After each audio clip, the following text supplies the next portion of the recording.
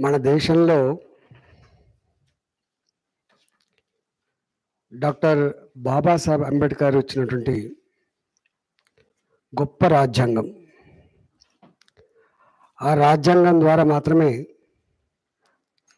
రాష్ట్రపతి గారు కావచ్చు ప్రధానమంత్రి గారు కావచ్చు రాష్ట్రంలో గవర్నర్ గారు కావచ్చు ముఖ్యమంత్రి గారు కావచ్చు స్పీకర్ గారు కావచ్చు రాజ్యాంగబద్ధంగా వచ్చినటువంటి బాధ్యతలు అవి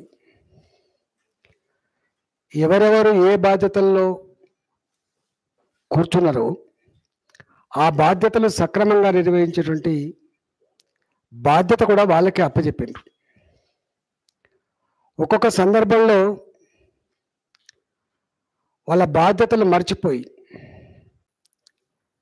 ఆ చైర్ని అడ్డం పెట్టుకొని ప్రజాస్వామ్య విలువల్ని స్ఫూర్తిని అగౌరవపరిచే ప్రయత్నం చేస్తున్నప్పుడు అంతిమంగా మళ్ళీ కోర్టులు సుప్రీంకోర్టు కావచ్చు రాష్ట్రంలో హైకోర్టు కావచ్చు బాధ్యతలు గుర్తు చేసే కర్తవ్యాలు సాంప్రదాయబద్ధంగా మలుచుకోవాలని చెప్పేటువంటి సూచనలు ఉంటాయి. ఇవాళ మా ముగ్గురు శాసనసభ్యుల సస్పెన్షన్ని గౌరవ హైకోర్టు స్పీకర్ గారి గౌరవాన్ని సమన్వితం నిలుపుతూనే గుర్తిస్తూనే సున్నితంగా స్పీకర్ గారు తీసుకున్న నిర్ణయం తప్పని దాన్ని కోర్టులు సరిదిద్దలేవని ఆ సరిదిద్దే బాధ్యత కూడా స్పీకర్ గారే తీసుకోవాలని చెప్పి మరొక గొప్ప సూచన కూడా చేసింది. కానీ దురదృష్టవశాత్తు కోర్టు ఇచ్చినటువంటి స్ఫూర్తి ఏదైతే ఉందో ఇచ్చిన గౌరవం సూచన ఏదైతే ఉందో దాన్ని తుంగలో తొక్కి ఒక దుష్ట సాంప్రదాయాన్ని ఒక దుష్ట సాంప్రదాయాన్ని ఇవాళ వారు మళ్ళీ మమ్మల్ని సస్పెండ్ చేయడం అనేటువంటిది దురదృష్టవశాత్తు తన గౌరవాన్ని నిలుపుకోలేదని మేము అభిప్రాయపడతా ఉన్నాం. తనకున్న బాధ్యతని కోర్టు చేసినటువంటి సూచనని ఆ గౌరవాన్ని వారు నిలుపుకోకపోవడం దురదృష్టవశాత్తుగా మేము భావిస్తా ఉన్నాం. ఈ పద్ధతి రేపు నియంతృత్వాన్ని దారితీసేటువంటి ఆస్కారం ఉంటుంది అని చెప్పి స్పీకర్ గారిని మరొకసారి గుర్తు చేస్తా ఉన్నాం. రెండవది ఇంతకుముందు మా శాసనసభ్యులు చెప్పినట్టుగా నేను రఘునందన్ రావు గారు మా సీట్లో నిలబడ్డాం మేము. నేను ఇరవై సంవత్సరాల కాలం పాటు ఈ సభలో నిరంతరంగా కొనసాగేటువంటి శాసనసభ్యుడిని నేను. అనేక మంది స్పీకర్లను చూసిన వాడిని ముఖ్యమంత్రులను చూసిన వాడిని పార్టీలు కూడా ప్రభుత్వం నడిపే పద్ధతి చూసిన వాడిని నేను.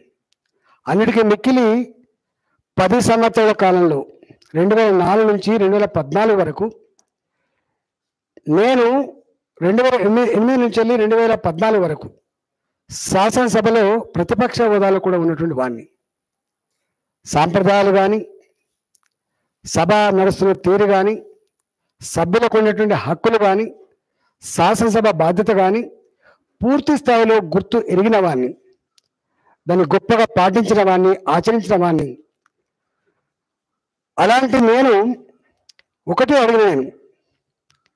అయ్యా స్పీకర్ గారు మీరు ఈ శాసనసభలో ఈ సస్పెన్షన్ తీర్మానం పెట్టి ఆమోదిస్తున్నారని మీరు చెప్తా ఉన్నారు కదా మేము రిక్వెస్ట్ చేస్తా ఉన్నాం.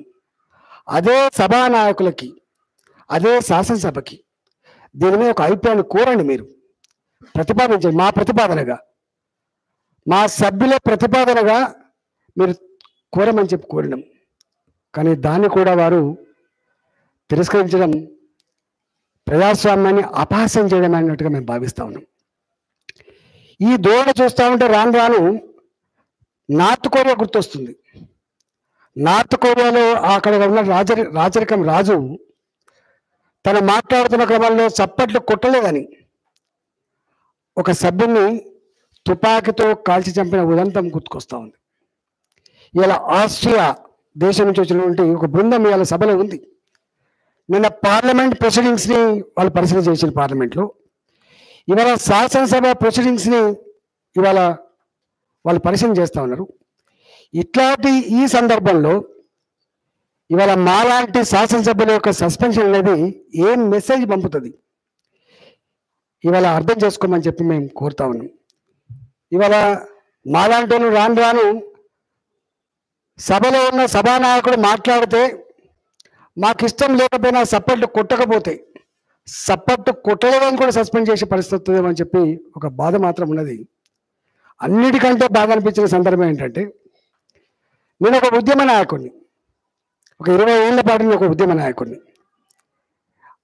ఆ- సభలో మమ్మల్ని సస్పెండ్ సస్పెండ్ చేయాలని చెప్పి ప్రతిపాదించినటువంటి మంత్రి గారు వారిని ఎన్ని మాటలు కూడా వారు గుర్తిరగాలి. వారితో మమ్మల్ని చేయించడం.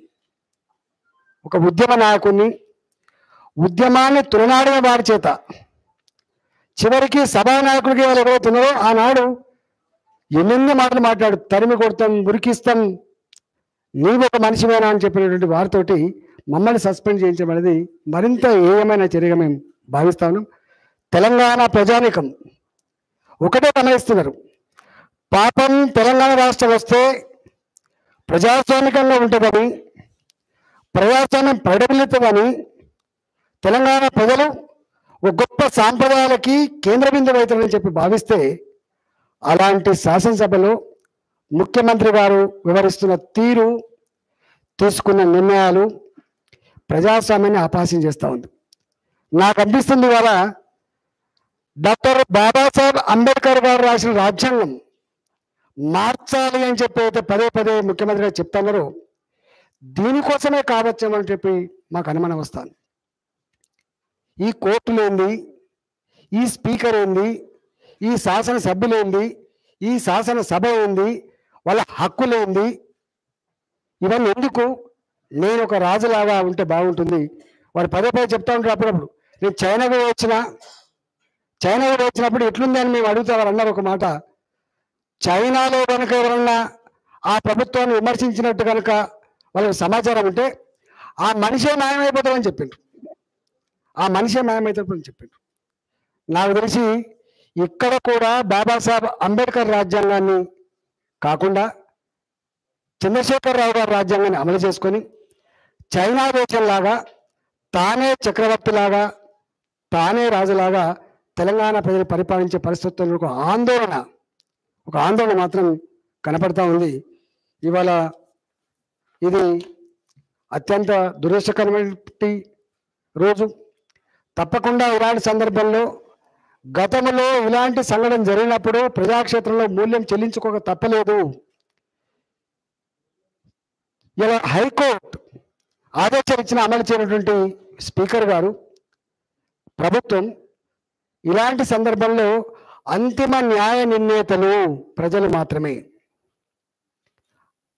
ప్రపంచ చరిత్రలో ఎక్కడ కూడా ఇట్లాంటి సంఘటన జరిగినప్పుడు అంతిమ తీర్పునిచ్చేది అంతిమంగా సరిదిద్దేది అహంకారాన్ని బొందబెట్టేది ప్రజలే చరిత్ర నిర్మాతలను తేల్చి చెప్పేది ప్రజలే కాబట్టి ప్రజాక్షేత్రంలో ఇవాళ తేల్చుకుందామని చెప్పి ప్రభుత్వాన్ని హెచ్చరిస్తా ఉన్నాం. దాంట్లో భాగంగానే ఈ నెల పదిహేవ తారీఖు నాడు ఈ నెల పదిహేవ తారీఖు నాడు ఇందిరా పార్క్ దగ్గర మాజీ ఎమ్మెల్యేలు కావచ్చు మాజీ ఎంపీలు కావచ్చు రాజ్యసభ సభ్యులు కావచ్చు జిల్లా పరిషత్ చైర్మన్లు కావచ్చు వాళ్ళు కార్పొరేటర్లు కావచ్చు ప్రస్తుత ఎమ్మెల్యేలు కావచ్చు రాజ్యాంగాన్ని పరిరక్షించండి నియంతృత్వాన్ని బొందబెట్టండి అనేటువంటి జ్ఞానంతో రేపు ఇందిరా పార్క్ దగ్గర మా రాజాసింగ్ గారి నాయకత్వంలో మేము ఆ దీక్ష చేయబోతా ఉన్నాం. పదకొండు గంటల నుంచి ఐదు గంటల వరకు. అదేవిధంగా మా పార్టీ పూర్వ కావచ్చు మా పార్టీ అత్యున్నత కమిటీ కావచ్చు మేము శాసనసభ్యులుగా ప్రజాక్షేత్రంలో తీ తీర్చుకున్నటువంటి ఆ ప్రోగ్రామ్ కూడా డిజైన్ చేయమని చెప్పి కోరినాం. దాన్ని కూడా త్వరలోనే మేము ప్రకటిస్తామని చెప్పి తెలియజేస్తా ఉన్నాం. ఏది ఏమైనప్పటికీ కూడా ఇవాళ యావత్ తెలంగాణ ప్రజానికం అంతా కూడా సిగ్గుతో తలదించుకునే పరిస్థితి వచ్చింది. వీరేనా మా ముఖ్యమంత్రి. వీళ్ళేనా మా పాలకులనే పరిస్థితి వచ్చింది. ఇది మంచిది కాదు. తప్పకుండా తెలంగాణ ప్రజానికం దీన్ని గుండెల్లో పెట్టుకుంటారు. సందర్భం వచ్చినప్పుడు గతంలో ఇలాంటి వాళ్ళకి ఇలాంటి గుణపాఠం చెప్పిందో కర్రగాల్చి బాధ పెట్టిందో తెలంగాణ ప్రజలు కూడా తప్పకుండా కర్రగాల్చి బాధ పెడతారు. ఆయన పదే పదే అన్నట్టు అన్నట్టుగా ప్రధానమంత్రి గారి గురించి కానీ కేంద్ర ప్రభుత్వం గురించి కానీ ఎట్లయితే మాట్లాడుతుండో అంతిమంగా తెలంగాణ ప్రజాక్షేత్రంలో శిక్ష అనుభవించేది కేసీఆర్ మాత్రమే చెప్పి హెచ్చరిస్తాను